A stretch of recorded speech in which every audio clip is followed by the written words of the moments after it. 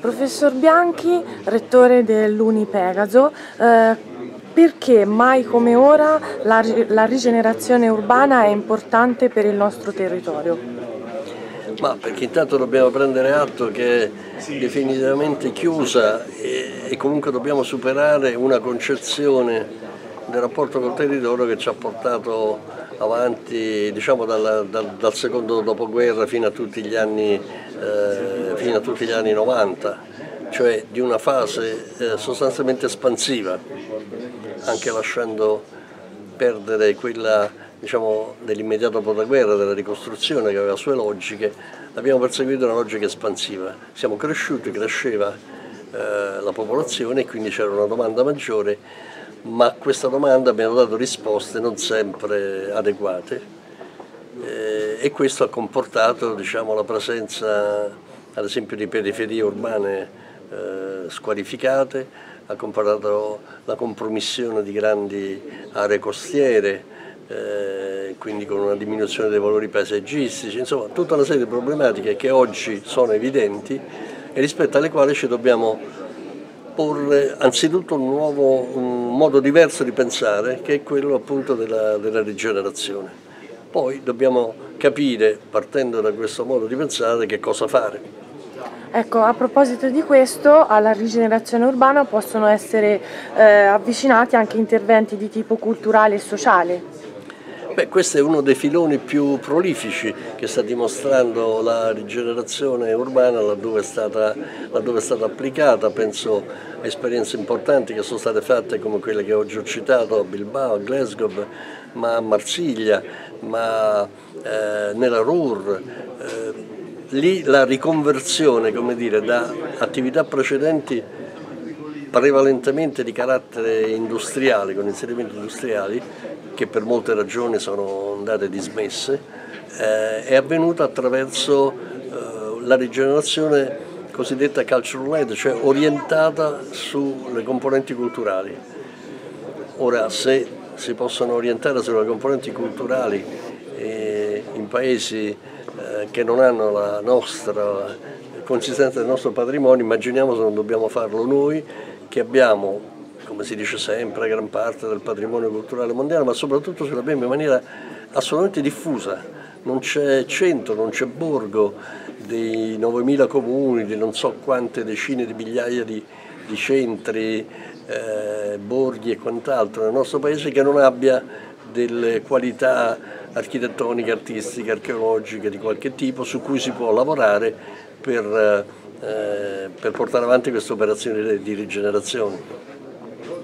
Ecco, come lei stesso ha detto, a Montepulciano sembra strano, inutile parlare di, di rigenerazione ambientale e urbana. Allora, che cosa devono stare attenti gli amministratori locali per evitare un domani di dover far fronte a un problema del genere?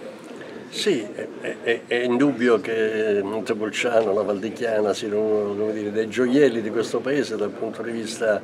eh, ambientale, dal punto di vista di un turismo sostenibile, dal punto di vista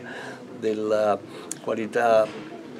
delle, dei, dei, centri e de, dell'offerta in generale. Devono stare attenti al fatto che sono in atto fenomeni come dire, sottostanti di cui eh, in questo momento in alcuni luoghi si vedono le conseguenze, cioè se uno va eh, a Firenze, come è capitato a me di andare qualche settimana fa a Piazza Duomo, e l'idea di entrare a visitare la cattedrale diventa una follia perché c'è una fila almeno di quattro ore, o una cosa analoga succede al Colosseo a Roma. Ci sono fenomeni che stanno, si stanno dimostrando evidenti, altri a Montepulciano per esempio non sono così evidenti, sono sottostanti, ma sono potenzialmente in corso. Cioè dobbiamo pensare che non ora, dove le cose vanno oggettivamente bene, ma fra 5 anni, fra 10 anni, fra 15 anni, potrebbero avvenire fenomeni per esempio di presenza incontrollata sul territorio, che insomma se arrivassero tutte insieme 10, 20, 30 mila persone a, a Montepulciano un giorno, la, la città ne verrebbe devastata. Allora dobbiamo imparare a costruire, oggi noi eh, come dire, metodi, tecniche e soprattutto avere consapevolezza di queste cose e porre come dire, alcuni punti fermi per evitare che le cose accadano domani. Altrimenti ci troviamo nelle condizioni di chi ha già subite queste cose eh, perché non, non le aveva capite e quindi non ha potuto controllare. Ho accennato prima che l'amministrazione comunale eh, ci ha commissionato, ha commissionato alla Pegaso uno studio proprio sul turismo sostenibile. Io sto facendo di questa cosa una, dire, una bandiera che vado raccontando in giro perché dico guardate chi è che ci ha posto il problema del turismo sostenibile, non un qualsiasi paesaggio costiero dell'Alto Tirreno calabrese o altro, ma un luogo dove dice ma tutto è sostenibile. Beh, questo significa saper amministrare le cose, guardare con lungimiranza lontano e lavorare perché domani, dopodomani, il turismo sia ancora sostenibile, le città siano ancora vivibili con le stesse qualità che oggi oggettivamente esprime Montepulciano. Professor Montanari ha detto recentemente che il turismo è sostenibile se crea conoscenza e cultura. Lei si trova d'accordo con un'affermazione anche semplice del genere? È semplice, ma come sempre nell'affermazione di Montanari un po' elitaria. Cioè,